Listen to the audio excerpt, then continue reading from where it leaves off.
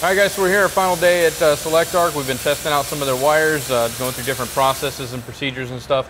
So today we're going to go ahead and show you some metal core. So Ben, go ahead and tell us about metal core. Exactly what is it? So uh, metal core wires um, is what it implies. Basically, you have greater than 90% metallic powders in the core. Uh, whereas the flux core, you have slag ingredients into it. You generally get faster travel speeds with it, um, whereas and, and, it's obviously a more efficient wire because there is no slag on top of the uh, on top of the bead when you're done with it. So it's a faster wire. That's why a lot of the, the uh, automotive people use that type wire. So now that we're going to do some metal core today, go ahead and tell us some of the difference between metal core and like standard, you know, solid wire that everybody's familiar with. Yeah. So uh, since we've been doing cut and etches all week, we'll start there.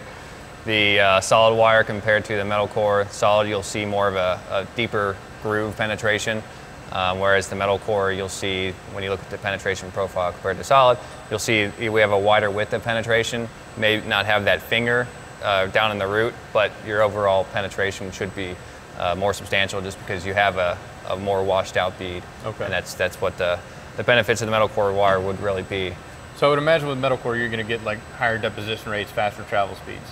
Yes, uh, compared to the solid wire, you can usually push those limits because the way the current um, carries through the sheath of the wire. Um, usually with solid wire, you have thickness limitations because of that penetration profile I was talking about. Mm-hmm. Um, the metal core spreads out. You can usually run a lot faster, put the, put the pedal to the metal, and just go with it. So. All right, so I guess we're going to kind of keep with the same sequence. We'll do a push versus pull on this one as well.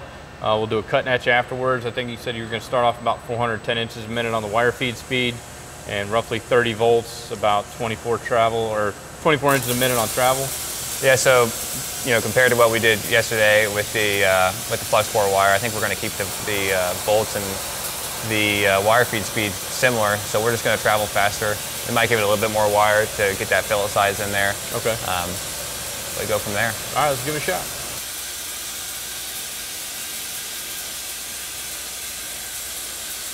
All right, so it looked like it uh, it went in pretty good. We got even uh, even fusion on both legs of the fillet.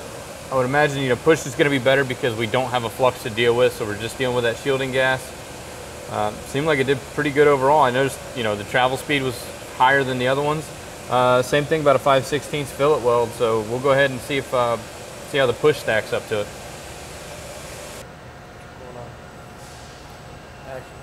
All right, looks on. Uh, looks like it turned out pretty decent. We got good wetting of the toes in. I know I did notice the faster travel speeds.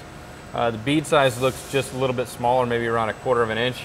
But I mean, that's something we could we could play with. You know, uh, either increasing the wire feed speed, maybe you know bump a half a volt up, or or dropping that travel speed down. But I think overall it did pretty good. So we'll go ahead and uh, we'll run the pull technique and see if that gives us any different as far as penetration. Yes, sir.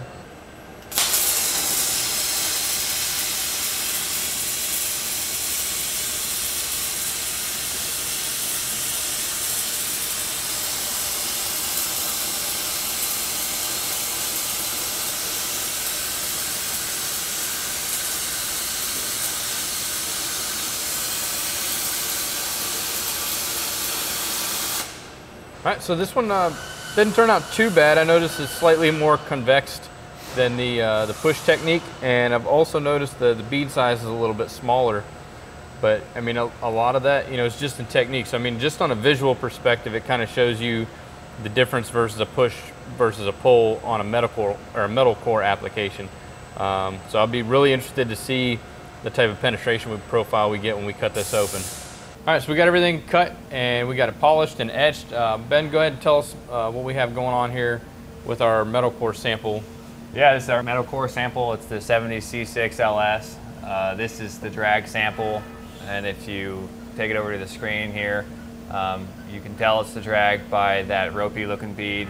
Uh, you're really not taking advantage of the metal core wire in this situation. You have a, you have a real focused bead, and um, I think if you when you compare it to what the push will probably look like, it, it's just a narrow bead. You're not really getting the true benefits of what the, the metal core wire can do. You're yeah. punching in, sure, but you're, you're getting good penetration. But the idea of the metal core is to get that wide width of penetration and to really go fast. So this right here is not ideal. Right, and I noticed that when we welded it up, the uh, the weld size was a little bit smaller, even though we didn't change any of the parameters other than the direction. Yep, and I think uh, that's what you're seeing here. So. Right. Let's go ahead and check out the push angle.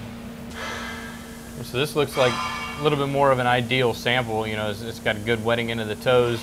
You don't have that high crown on there. We got the 5 16ths we were looking for. What else can you tell us about this sample? Uh, you pretty much covered it. The, the bead is much flatter. Uh, washing, as you said, you do have good penetration still. Um, this, I think you probably could have gone faster um, and really get the benefits of the metal core. That's what, that's what we're here for, the wider width of penetration. Uh, so yeah, this looks like the optimum push angle that you should be using. So obviously much more ideal than, than trying to drag this stuff as a lot of people do. Yes. All right, guys, well, that concludes this episode. Metal core was a pretty neat process. We look forward to doing more videos like this where we're kind of debunking the myths and misconceptions revolved around welding. Um, ben, thanks for having us out, man. No Appreciate problem, it. Thanks for having us out at the facility and, and kind of showing us around, giving us a tour, letting us play with some of the, the cool toys you got here in the lab. Uh, make sure you guys follow us on Facebook and Instagram. Hit the notification button down below. That way you get notified when we have new episodes.